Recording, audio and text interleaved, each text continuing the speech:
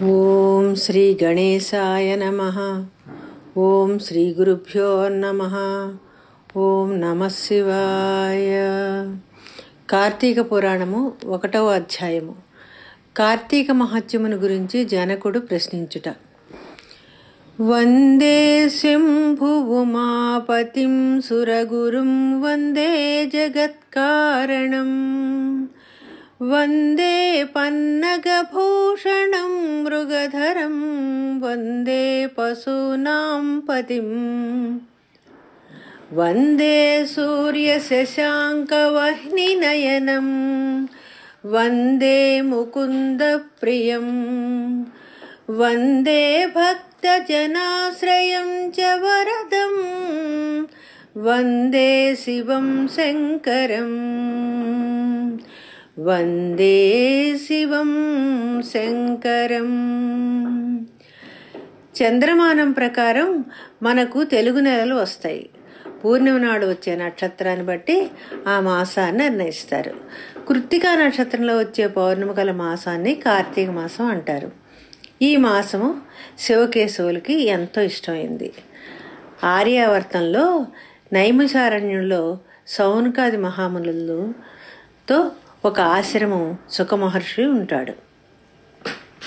అతడు పురాణ కథలు వేద వేదాంగాల రహస్యాలు చెప్తూ ఉంటాడు.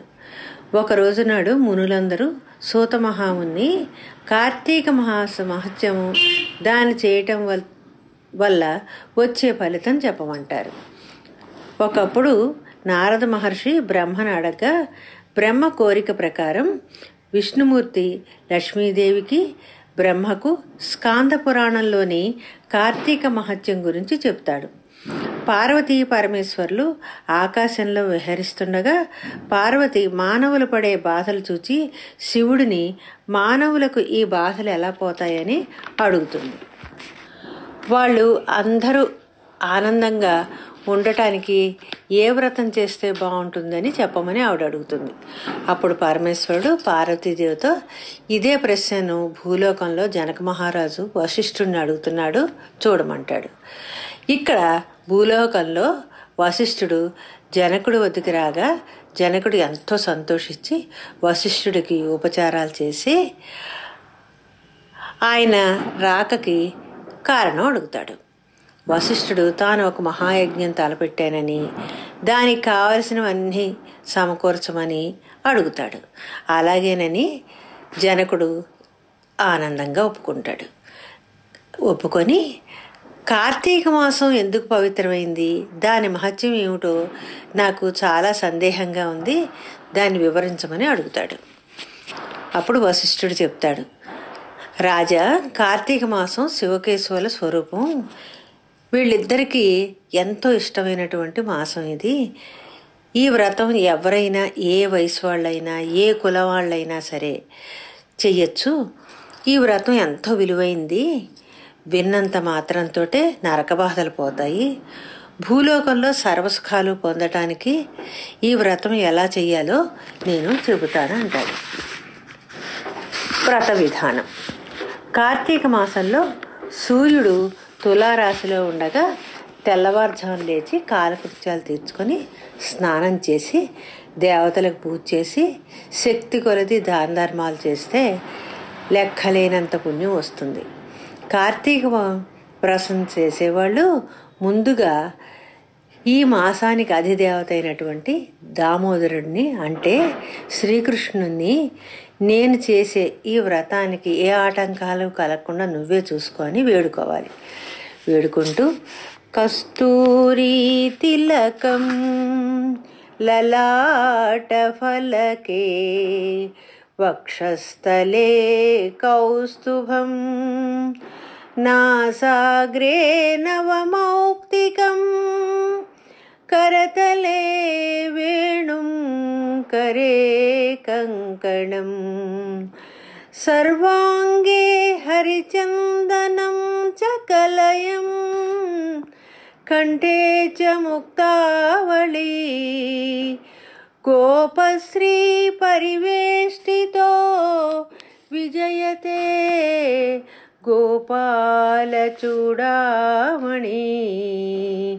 विजयते गोपालचूडामणि।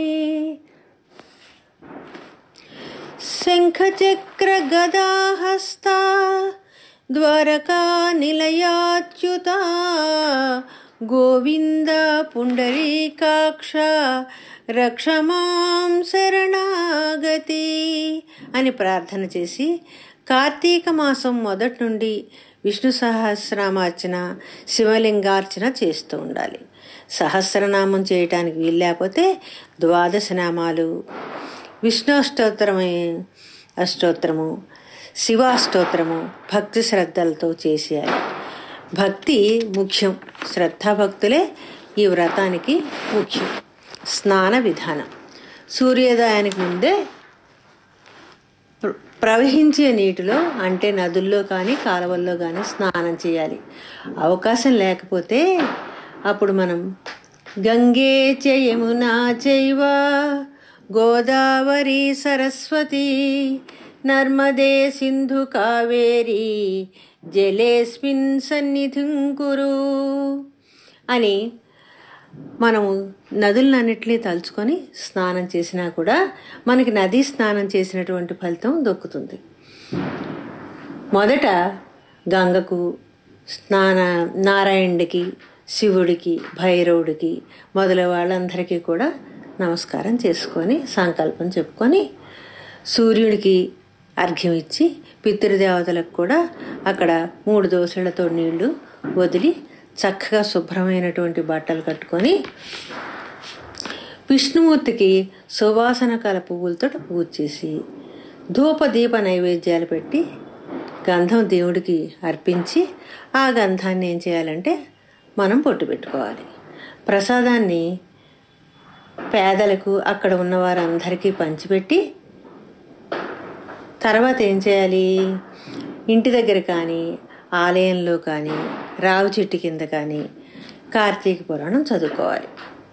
సాయంకాలం శివాలయంలో కానీ విష్ణాలయంలో కానీ అది ఇది లేకపోతే తులసి వద్ద కూడా మనం ఏం చేయాలి? దీపారాధన చేయాలి. ఆ దీపారాధన చేసేటప్పుడు ఓం త్రిపురాయ విద్మహే తులసి పత్రాయ ధీమహి తన్నో తులసి ప్రచోదయాత్ అని ప్రార్థిస్తూ దీపం వెలిగిస్తే ఇంకా ఎక్కువ శుభాలు కలుగుతాయి. శక్తిని బట్టి ప్రసాదాన్ని మరలా తయారు చేసి తాను తినాలి అందరికీ పెట్టాలి మరునాడు పశుపత్యాదులకి పెట్టి భూతతృప్తి చేయాలి. ఇలా చేసినటువంటి స్త్రీ పురుషులకి ఇదివరకు ఇప్పుడు చేసే పాపాలన్నీ కూడా పోతాయి. వ్రతం చేయలేని వాళ్ళు కథ విన్నా చేసిన వారికి నమస్కరించినా కూడా సమానమైన ఫలితాన్నే పొందుతారు. ఇది మొదటి అధ్యాయం. స్వస్తి.